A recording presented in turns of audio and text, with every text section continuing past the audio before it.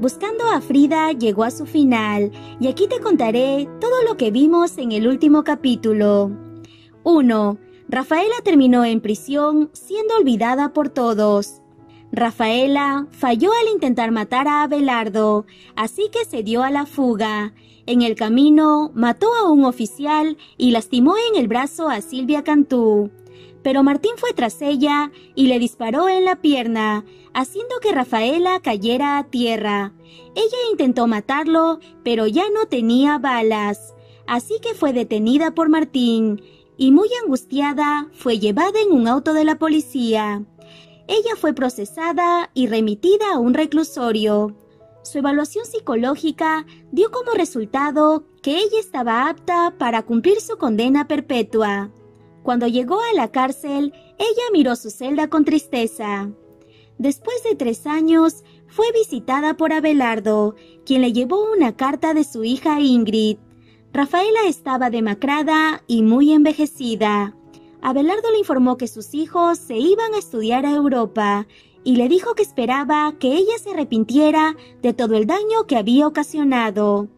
Rafaela regresó a su celda donde leyó la carta de su hija, la cual contenía palabras muy duras, pues le decía que a ella y a Tomás les costaba mucho perdonarla, así que nunca sabría nada de ellos, pues para Tomás y para ella no existía más. Esto dejó en depresión a Rafaela, quien lloró demasiado junto a la carta.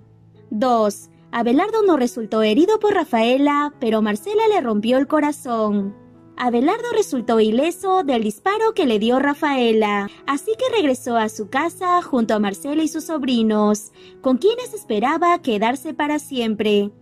Él le contó a Enrique que se había dado cuenta de su amor por Marcela, y amaba a la familia que ella le había dado, y que sentía que el corazón de Marcela ya no le pertenecía, pues la muerte de Frida los había alejado demasiado. Marcela le pidió el divorcio, pero se quedó a vivir con él por el bien de su familia. 3. Marcela eligió quedarse con su familia, pero dejó la posibilidad de estar con Martín en el futuro. Marcela sintió mucho miedo que Abelardo hubiera muerto en el enfrentamiento con Rafaela, así que corrió a buscarlo y lo abrazó aliviada. En la noche soñó con su hija Frida, a quien la vio en sus brazos, vestida de blanco y muy feliz. Frida le dijo que ya estaba bien y que siempre estaría para ella. Ambas se dijeron que se amaban y Marcela al fin pudo encontrar su paz así que fue a ver a Martín para darle las gracias por haber atrapado a la asesina de su hija. Martín le dijo que la amaba y le pidió que se quedara con él, pero ella le respondió que aún no había tomado una decisión, pues una parte de ella quería quedarse con él para siempre, pero la otra parte no le permitía alejarse de su familia. Ambos lloraron y se dijeron que nunca se dejarían de amar.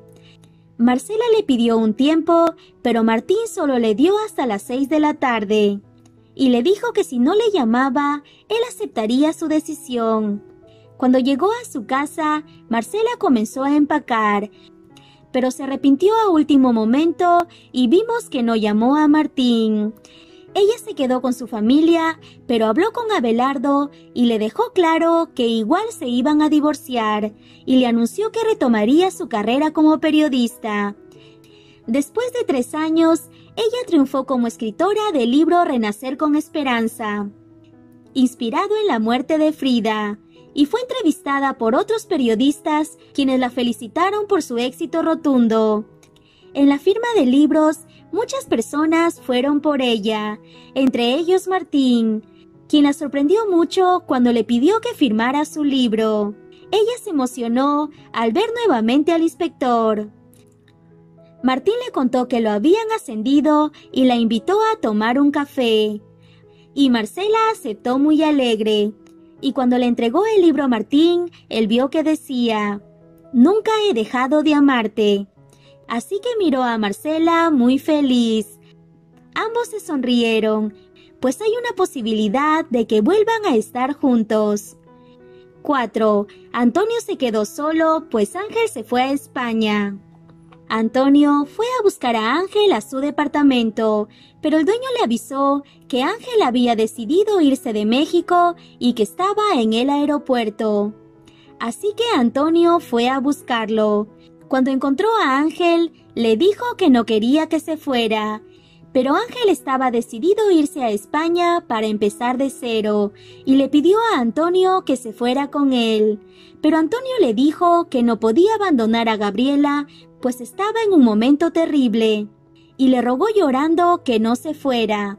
Sin embargo, Ángel estaba decidido a viajar, así que se alistó para irse. Pero Antonio le dio un gran beso delante de todos para intentar convencerlo.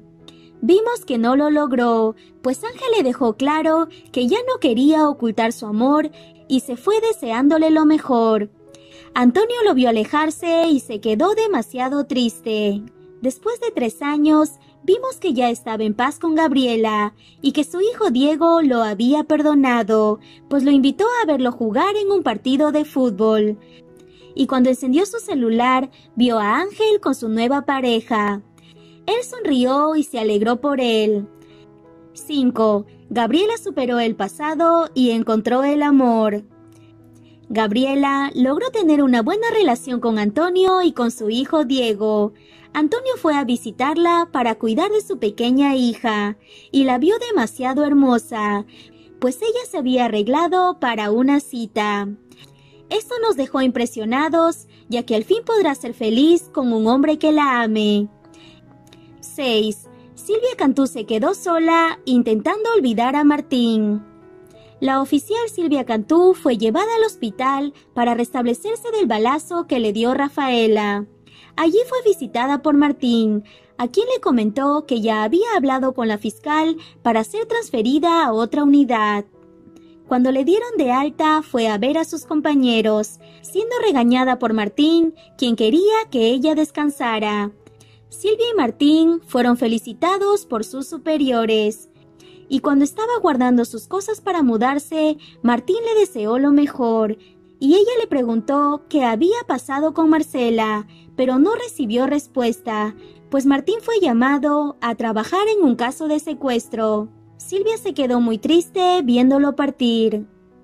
7. Enrique intentó sanar sus heridas y apoyó a su amigo Abelardo.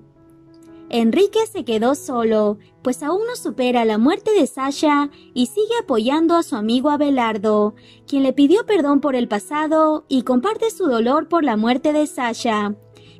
8. Tomás e Ingrid se fueron a Europa para dejar el pasado atrás.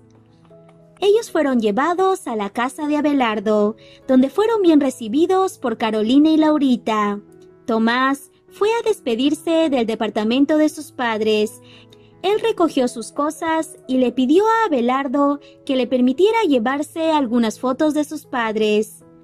Él y su hermana perdieron todo contacto con Rafaela.